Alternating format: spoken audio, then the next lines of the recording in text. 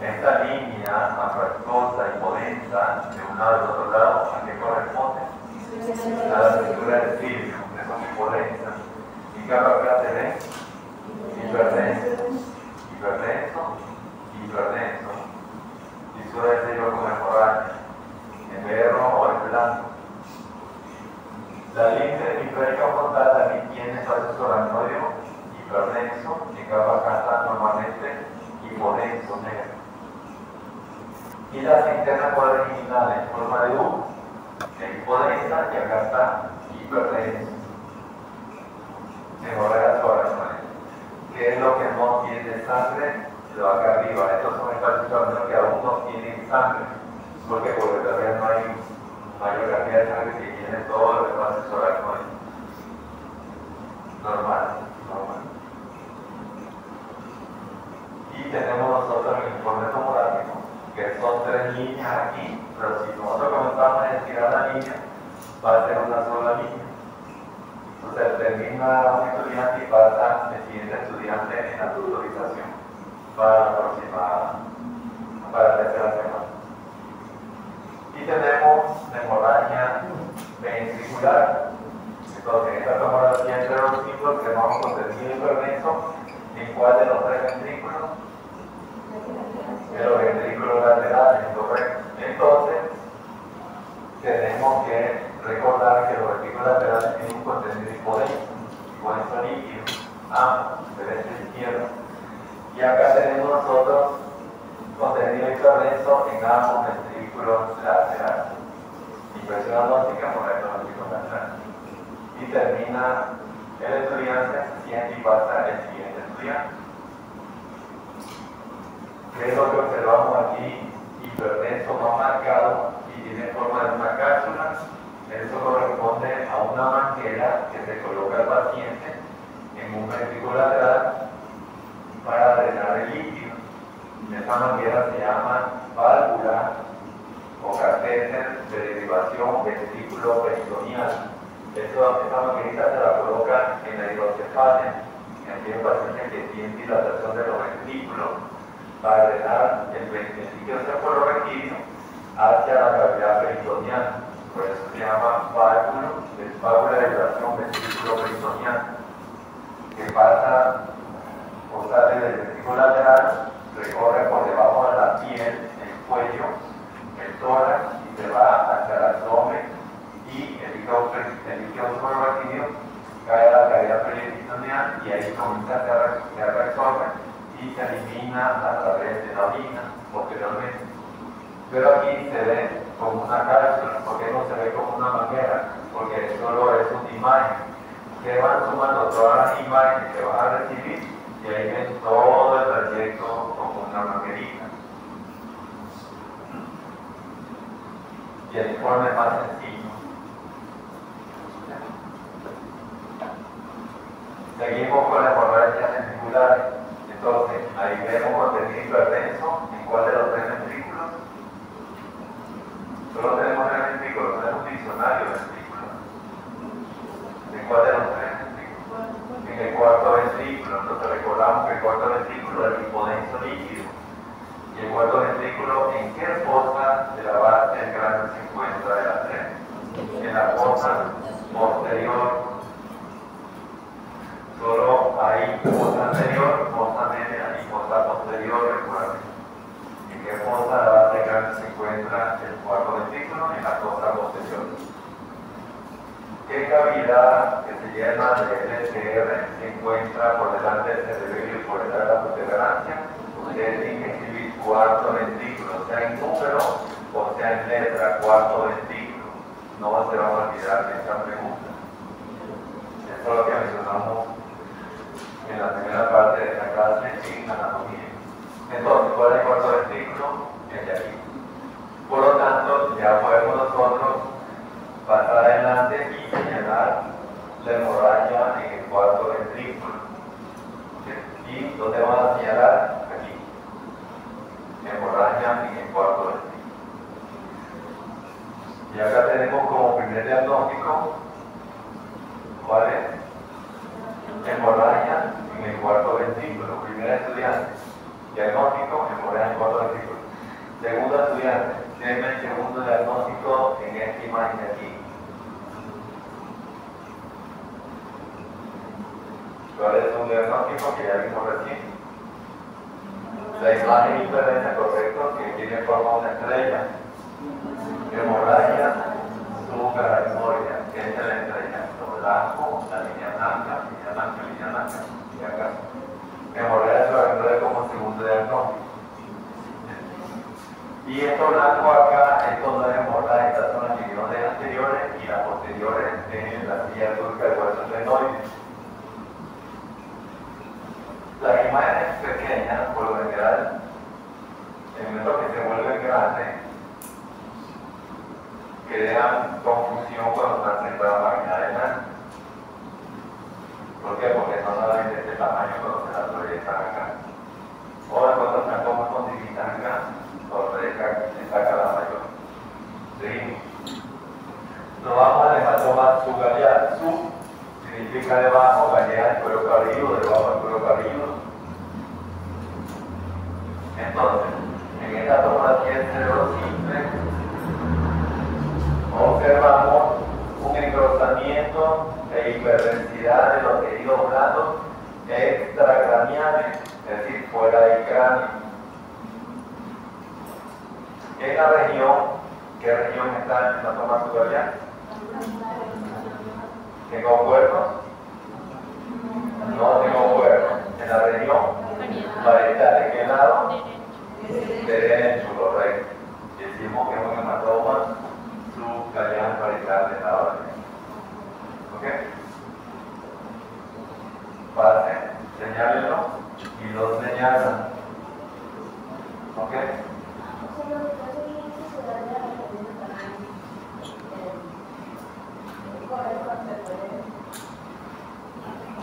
Recuerden que trabajamos la localización solo para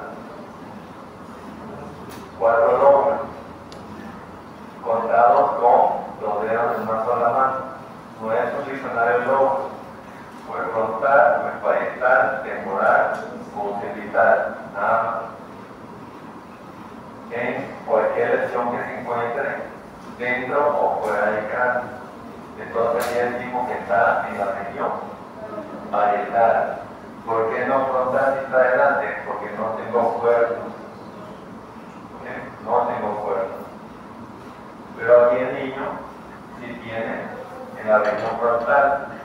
Pero de pronto ustedes no van a recibir, o sea, no de pronto, ustedes no van a recibir una sola imagen, se van a recibir de la base hasta la parte superior y puede que aquí se sientan acá arriba de hematoma subgaleal comúnmente conocido como chivolo o chichón, correcto.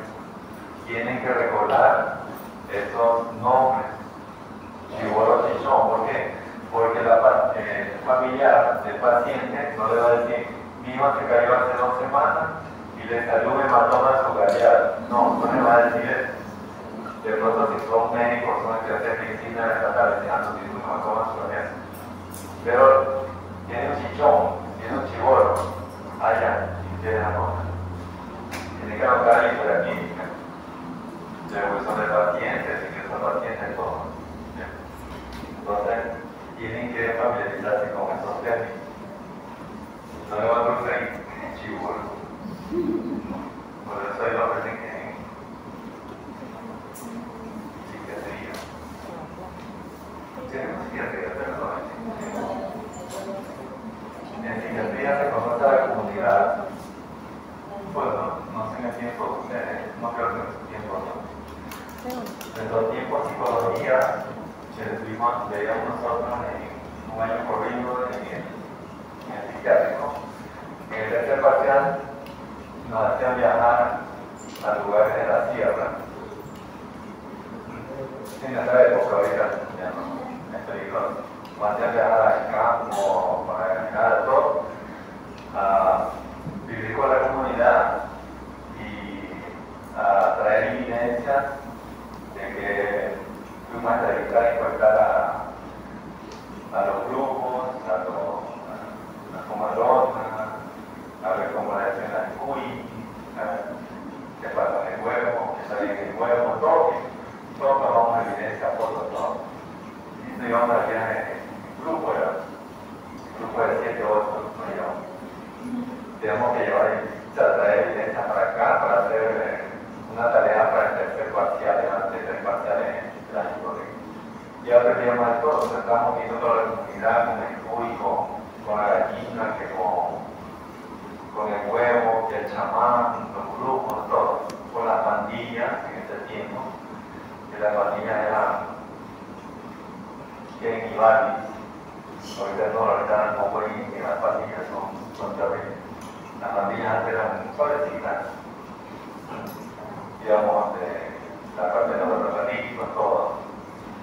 para, para conocernos para la comunidad. Entonces ya aprendíamos a hacer nosotros. Pero ahora creo que no, no, no van a hacer eso, no van a hacer eso. No, creo que no. Bueno, y seguimos. El edema cerebral, aquí lo que va a ocurrir después de un trauma es la vasodilatación. O sea, en el momento que hay vasodilatación, entonces hay trabajación de líquido de manera intra extracelular. Si hay trabajación de líquido, aumenta la cantidad de líquido en el parénquima cerebral, entonces el cerebro se va a hinchar, digamos, a llenar demasiado líquido y el líquido, ¿qué densidad tiene? hipodenso. Entonces el parénquima cerebral se va a ver hipodenso. Momento que el, el parénquima se hincha, entonces los surcos y las fisiones cerebrales van a desaparecer, porque las circunvoluciones comienzan a hincharse y los surcos que están en el medio desaparecen.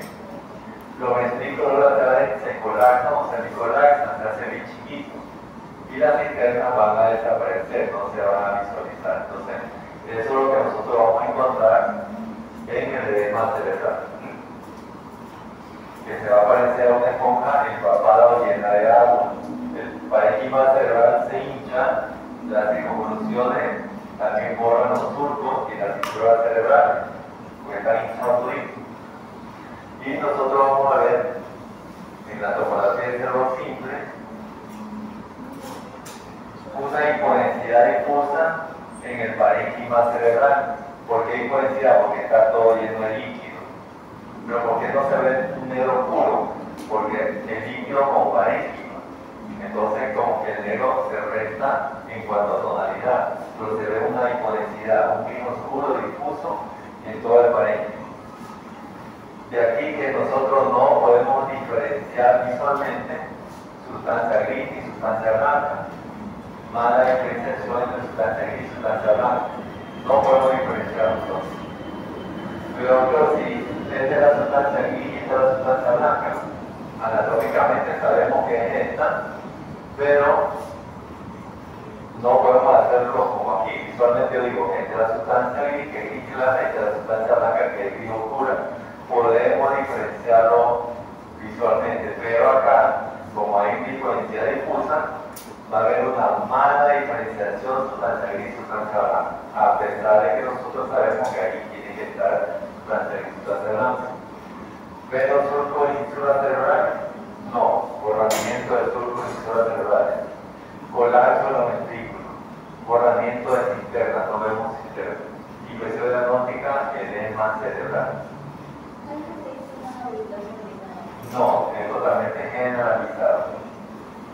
Correcto si tratan de dilucidar las inquietudes que tenga, porque por favor ya en, en la evaluación, pero ¿qué ubicación, qué localización? No, edema cerebral, edema cerebral. Por lo general es generalizado, o a veces que un hemisferio solo tiene edema en relación a otro. Por ejemplo, sí, por ejemplo, aquí en edema cerebral generalizado puede ser por alguna otra patología que no sea traumática o puede ser un trauma que ya se encuentra en su paciente y ya tiene todo de eso, pero a veces cuando se golpea de un solo lado, el edema cerebral es y solo en un solo hemisferio. En el hemisferio del lado derecho. Se refiere al hemisferio cerebral que es el lado. Nos vamos a las fracturas craneales y a la presencia de neumoexterno. Entonces, la fractura puede ser simple, es decir, solo hay una alteración de la continuidad del hueso.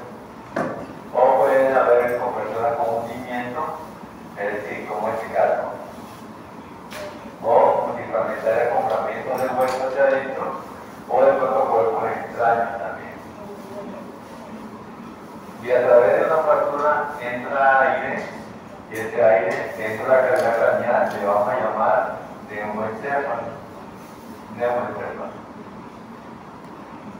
Entonces ahí tenemos la fractura, fractura con hundimiento y la presencia del neumoencéfalo. Entonces, toda la imagen hipodensa aérea es aire, es decir, porque sabemos que este puede ser aire porque es un negro puro. Puede que tenga esta forma de W invertida, porque este es vemos una cosita grande total, o puede que tenga forma redonda o oye teniendo la calidad cambiante. Si es negro puro, eso es aire, por eso aéreo, eso es neumicéfalo, cualquier forma que tenga. Y se va a localizar siempre de la mitad hacia arriba en la cavidad craneal. ¿Por qué no de la mitad hacia abajo? Porque el paciente está boca arriba en el estudio y el aire tiende a ascender. Va a encontrar siempre la mitad hacia arriba dentro de la cavidad craneal. Puede tener el aspecto de esta forma, puede ser como ovoide o de forma redondeada. Y no confundirlo con los senos frontales. Los senos frontales, claro que son impuestos a ellos, pero está dentro del hueso. Está dentro del hueso.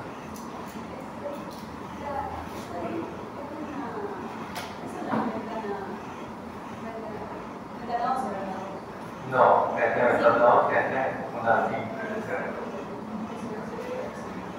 Cuando ustedes toquen encima de aquí, yo no les voy a preguntar, o no les voy a hacer la pregunta, háganme el informe tomográfico. Aquí no hay informe tomográfico. La única pregunta que les hago, ¿qué tipo de examen es? ¿Y qué tipo de examen es? Tomografía del cerebro con ventana ordenada. Recuerden que no es tomografía del cerebro simple y con ventana. Solo estoy viendo llevar un punto, una sola imagen, una sola tomografía, que es la tomografía del cerebro con ventana orden. No es simple y con ventana orden.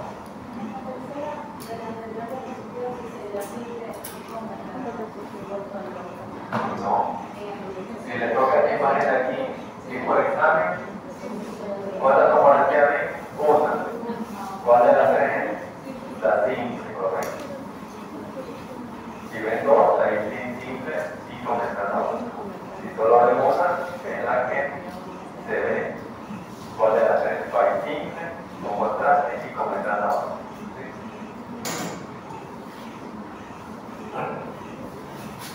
Eh, para que no eso no, porque esto es fácil para ustedes.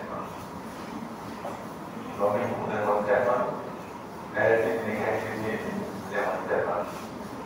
Y la edición es sencilla. Y terminamos y resumimos todo lo que hemos visto en trauma carencefálico.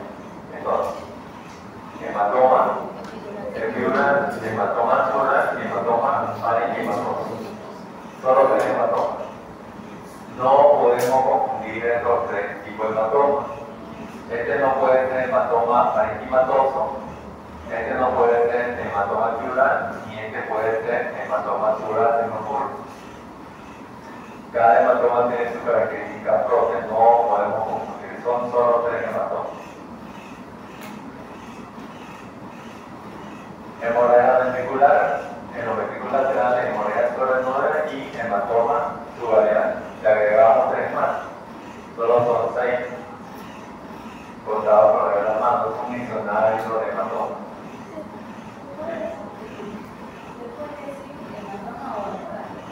Entonces, tenemos dos términos, hematoma y hemorragia.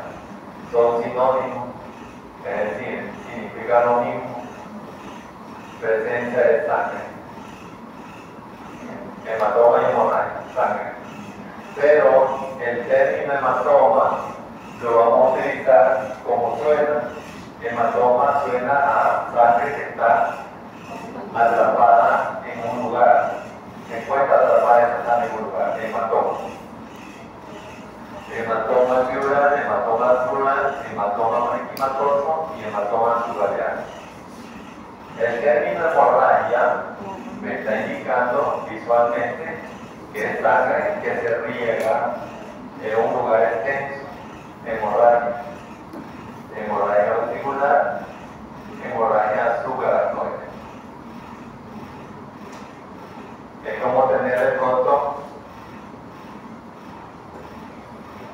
agua atrapada aquí en la botella, hematoma.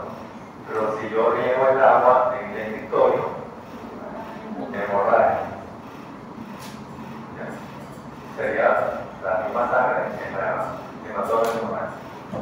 Pero el término en el hematoma parenquimatoso también se puede utilizar hemorragia, hemorragia parenquimatosa y hematoma parenquimatosa. Significa lo mismo. Significa lo mismo. Si teníamos edema cerebral, no se puede confundir fractura ósea y neuroenteroma. Le agregamos tres más, son nueve patologías craneoencefálico. Y la próxima semana vemos la infección y malformaciones congénitas y ahí sumamos 100 imágenes igualito a la tomografía de Pero son fáciles.